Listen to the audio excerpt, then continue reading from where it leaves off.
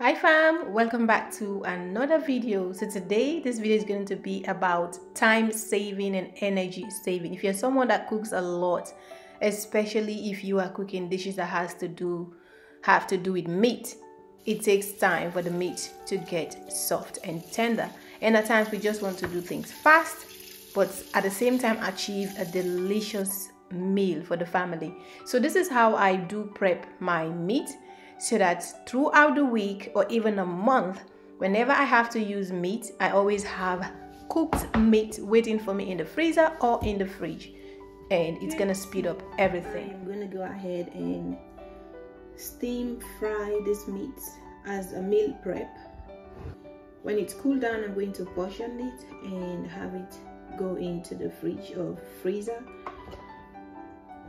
So whenever I am cooking meats, any dish that has to do with meat, then I just have meat already prepared to go, which is going to cut down on my cooking time and just save energy and everything. So I'm gonna slice one and a half onions for seasoning purposes. So guys, if this video helps you out, kindly give it a like and share to someone and subscribe if you haven't already so you get notified whenever I upload. And I went to the garden and get some herbs, uh, rosemary, bay leaves, thyme, oregano and basil to marinate or to season. And then I'm gonna go ahead and cut the meat to desired sizes.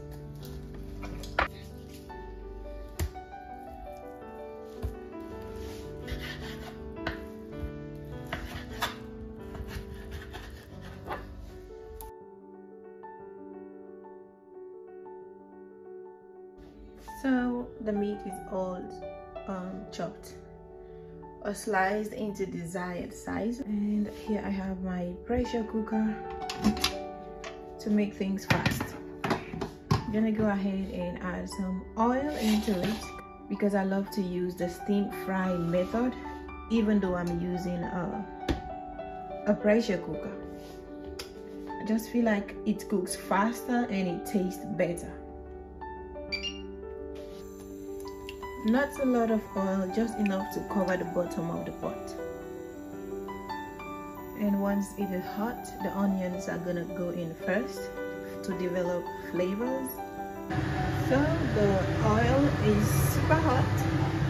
In goes some onions.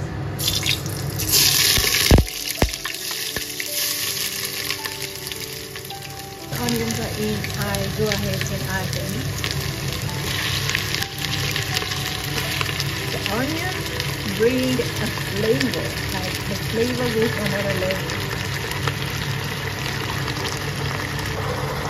So before I add the rest of the meat, I'm going to layer the seasoning.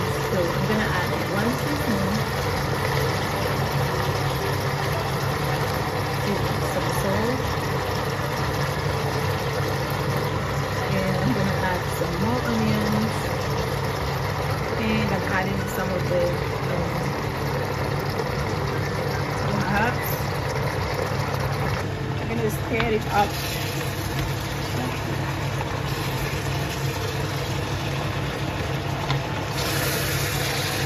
I'm to go ahead and add the rest of the meat. Okay, so all the meat is in now. It's in goes the second um, seasoning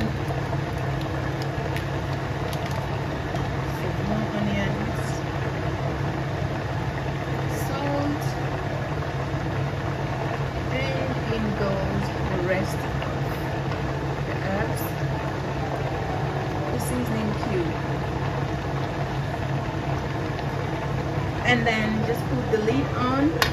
No need to add any water. The meat is going to produce its own broth which is amazing.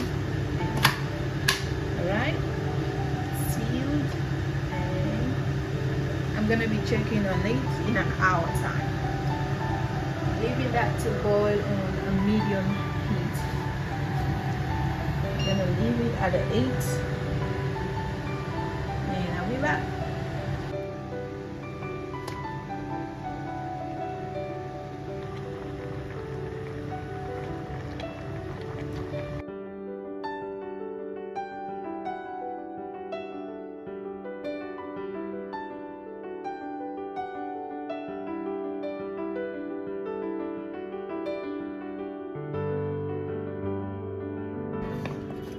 So the meat is all ready,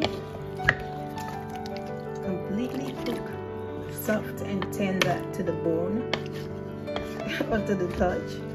So now I'm gonna go ahead and portion. Three to five days. So these are going to go into the fridge. And the rest i'm going to put in freezer bags ziploc bags and they are going to go into the freezer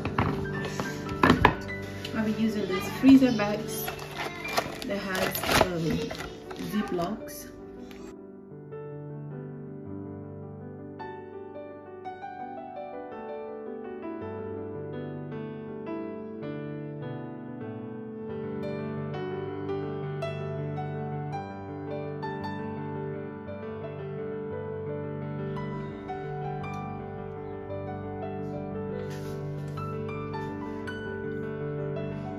so once they're cooled down i'm gonna cover up and take them to the fridge. And once this is cooled down i'm going to portion them into the ziploc bags.